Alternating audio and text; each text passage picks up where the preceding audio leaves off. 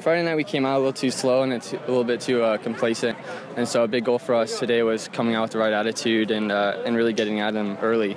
Um, and we were fortunate to get uh, two goals pretty early and then uh, finish out with a third goal in the in the half. So.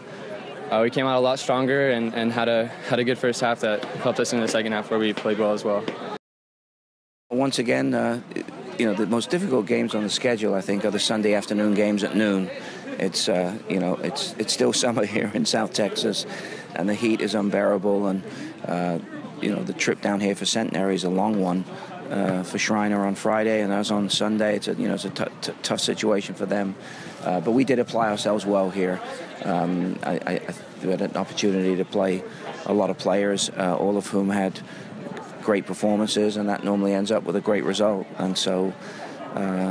Uh, 6 0 at home on a conference weekend, there's not, not really too much to complain about.